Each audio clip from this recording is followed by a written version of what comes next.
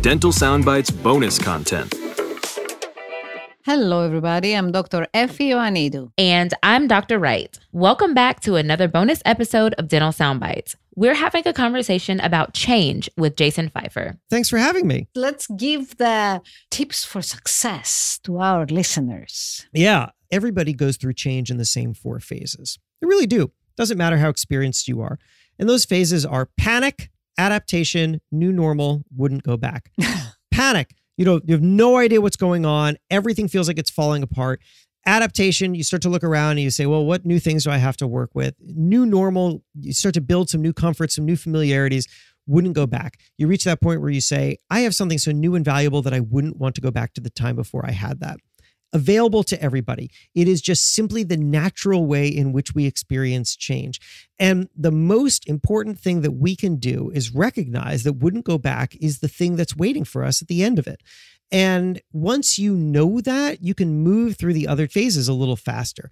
That panic doesn't feel as panicky, that adaptation feels more exciting, that new normal isn't just uh, like, you know, that you ran under a roof in a rainstorm, but it's just, you know, uh, you're on the path towards figuring out the next thing. And then once you get there to wouldn't go back, get ready because you're not there the rest of your career. The whole thing's going to happen all over again. But when it happens next time, if you're conscious about this, you can say, ah, I know what happened last time, and therefore I know what's going to happen this time. And that leaves me more open minded to the possibilities.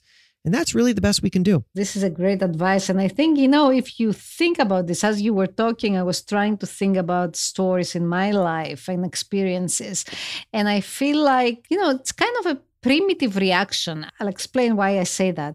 15 years ago, I had to move from Connecticut to Seattle for the entire summer for a sabbatical. My daughters were very young. So we moved from one daycare to another daycare in Seattle, right? I remember my one year old, the first week, was crying every day for eight hours from the drop off to the pickup. At the end of the week, she lost her voice. So that weekend, I said, okay, I'm going to use Monday as a test. If she cries again, then we're going back. I dropped her off on Monday. Nothing happened. She was happy and jumpy and interacting with the people. Like, as you said, the panic and then the adaptation. And then, I mean, I wouldn't go that far. I won't go back. They went back. But it's interesting. And it's, you know, it's something that you, maybe you, you know, we are born with and then we forget it. Yeah we are. Look, we're the we're the products of change, aren't we? I mean, we're we are literally the three of us here, but everybody who's listening, we are literally the argument for the value of change. Absolutely. You, uh, me, the things that we do and the way in which we operate. People, uh, you know, a generation prior from us, they said, ah, these new ways of doing things, terrible, terrible, terrible. No, it was much better before. But you know, we we picked up where we picked up. We started wherever we started.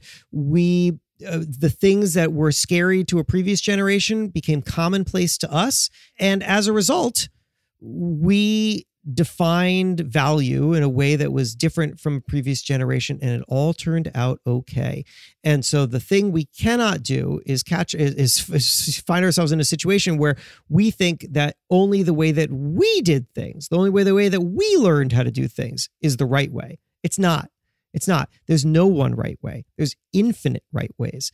And our jobs our jobs are to participate in the creation of right ways.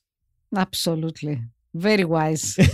Love it. Thank you so much for being here with us. And remember, if you like this episode, share it with a friend. Then be sure to subscribe to this podcast wherever you are listening so that you can get the latest episodes. You can also rate it, write a review, and follow us on social media. Dental Soundbites is an American Dental Association podcast. Learn more at ada.org slash podcast.